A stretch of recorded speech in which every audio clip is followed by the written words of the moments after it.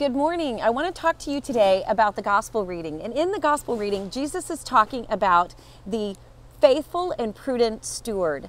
All right, so what does that mean exactly? Well, faithful means that you act in accordance with God's will, and prudence is known as the queen of virtues. It's knowing what to do in the moment. It's having a grasp of the moral situation in the moment.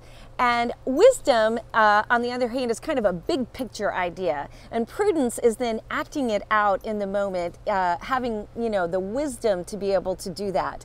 And so we read this. It says that uh, much will be required of the person entrusted with much, and still more will be demanded of the person entrusted with more.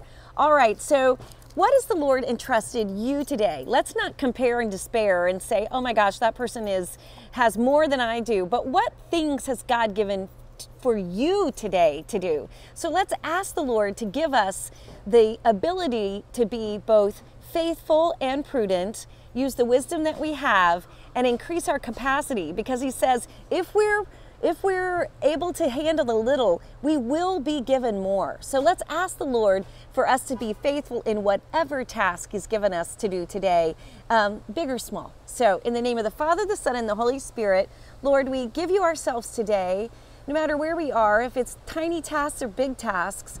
Lord, give us the ability to be faithful and prudent stewards, to use the wisdom that we have that comes from above. And we know, Lord, that it's only by your grace. So fill us today with your Holy Spirit, with your grace, to act accordingly to what we know to be your will.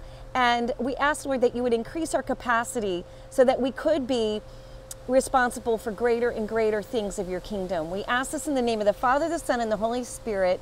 God bless you. I'll be praying for you, so be encouraged.